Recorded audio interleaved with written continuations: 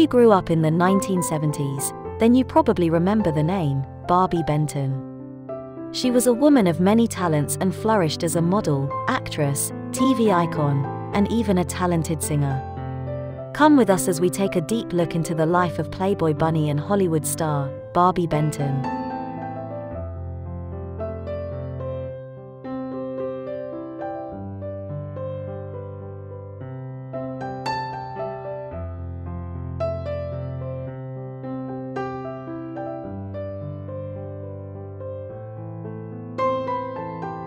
Born as Barbara Lynn Klein on January 28, 1950, in New York City, her family made the move out west to California when she was just two years old.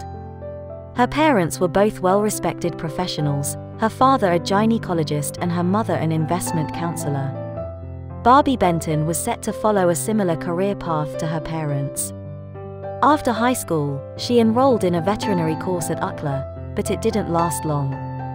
In a 1980 interview with People magazine, she recalls, I had to give up, being a vet, when I realized I couldn't stand the sight of blood. At the young age of 16, whilst still in high school, Barbi Benton began to model. She even took a class on theorem modeling during her time at Rio Americano High School. By age 18, after realizing a career as a veterinarian wasn't for her, she began to pursue a career in the modeling world whilst continuing her studies at UCLA.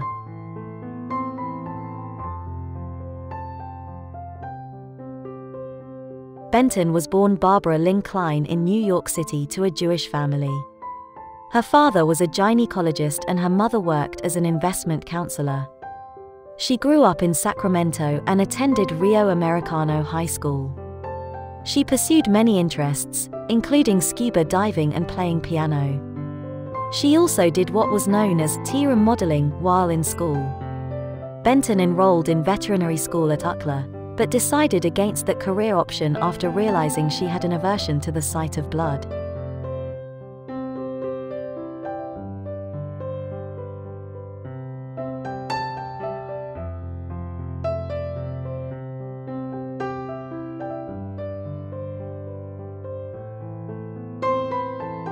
At the age of 16, she began to model. Following high school, while attending UCLA, Benton took a job with Playboy to appear on their entertainment show Playboy After Dark at age 18. She initially started as an extra on the show, but after host Hugh Hefner fell in love with Benton, her role was quickly elevated to co-host. After recording two episodes, Hefner asked the young co-ed for a date. Upon being asked, she reportedly demurred to the then 42 year old Hefner, I don't know, I've never dated anyone over 24 before. To which Hefner replied, That's all right, neither have I. The two began a relationship that lasted several years and placed Benton in the center of the Playboy enterprise. Hefner persuaded her to change her name from Barbara Klein to the more marketable Barbi Benton. She is credited with persuading Hefner to buy the Playboy Mansion in Holmby Hills in 1974.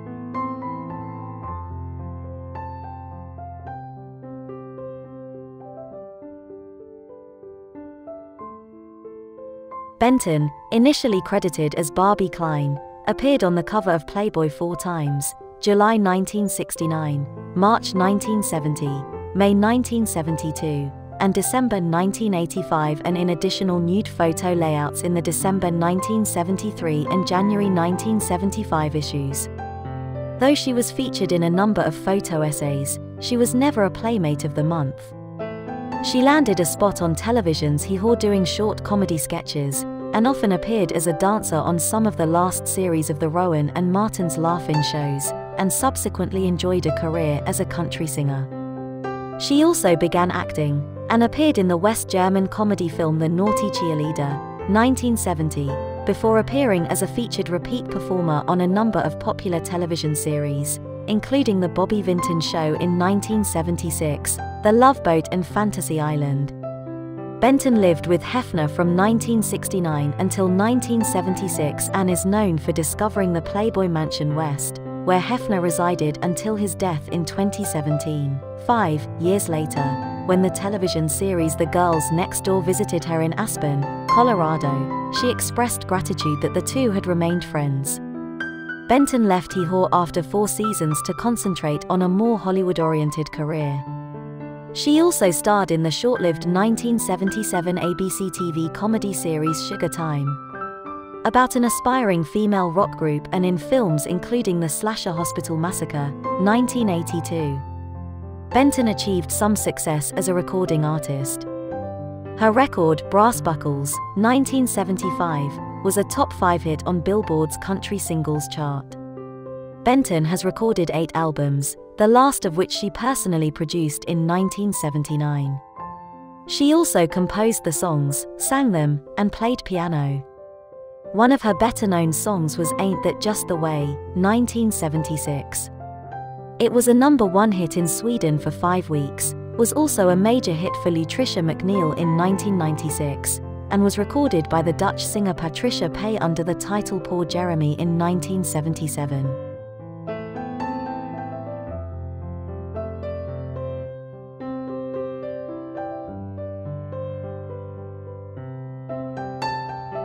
After ending her nine-year relationship with Hugh Hefner in 1976, Barbi Benton was looking for the next shoulder to lean upon, enter George Gradow. In 1977, a former employee of the real estate developer, Liz Prince, asked Gradow when he was thinking of getting married. Having watched Sugar Time, he replied saying, When I find someone who looks like Barbi Benton. As it happened, Liz Prince knew Barbi's mother and after passing on the message, they arranged a meeting for the two. At first, Barbi Benton viewed Gardau strictly as a financial advisor and businessman and was already seeing America film actor Andrew Prine at the time. When her fling with Prine ended, Benton and Gardau began dating and the rest, as they say, is history. In 1979, Barbi Benton and George Gardau were married. Benton traded the debauchery of the Playboy Mansion to that of a lavish 28 room mansion and 6 acre estate in Pasadena.